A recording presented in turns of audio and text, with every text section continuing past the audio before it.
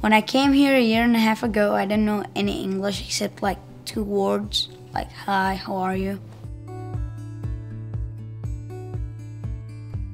I thought that I would never learn English. I would never like be able to speak a new language like that. It's really hard. My students have extra literacy needs because they speak English as their second or third language. In the classroom, our students all have different needs and it's nice to be able to provide things together. Education is in the middle of a revolution right now. Um, technology is completely disrupting the way that we educate students in a good way.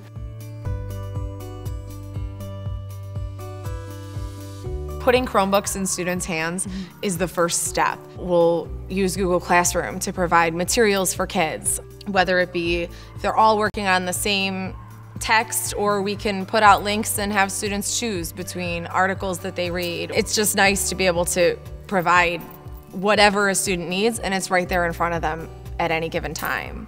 Google Classroom has been a phenomenal yeah, tool amazing. for us. Yeah. We did one year of sixth grade Chromebooks. Everything went amazing. The students loved it, the teachers loved it, the parents loved it. It was a huge hit. So we were introduced to Fluency Tutor from our technology integration specialist, and she had brought this program to us saying, I know you work with students that have reading fluency, reading or reading comprehension challenges, and dyslexia. And she said, why don't we try this and give this a, a shot? Fluency Tutor has been a great product for the students in my classroom. The students who have higher fluency, I can send them the higher Lexile passages where the students with lower reading abilities, I can just assign them the easier passages. When students are confident and they're comfortable using them, now they're differentiating it for themselves. They're deciding what's going to make this more manageable for me. Mm -hmm. Can I tackle this article that might have seemed a little bit too lengthy, a little bit too challenging for me if I have this tool right here? You could use the listening piece. Um, you can use different voices. It can make a vocabulary chart for you, like for the words you don't know. They independently use the dictionary button. I mean, it was that quick. There weren't so many questions that I had to go over with them.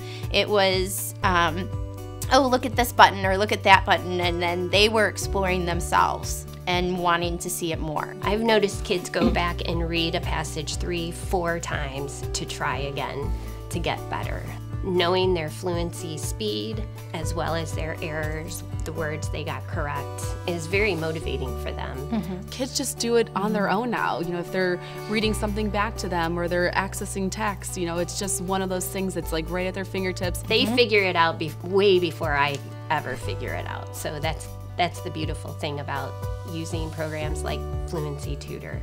It allows them to work whenever, however they want, wherever they want. It's so much different from when any of us were in school. Learning has changed.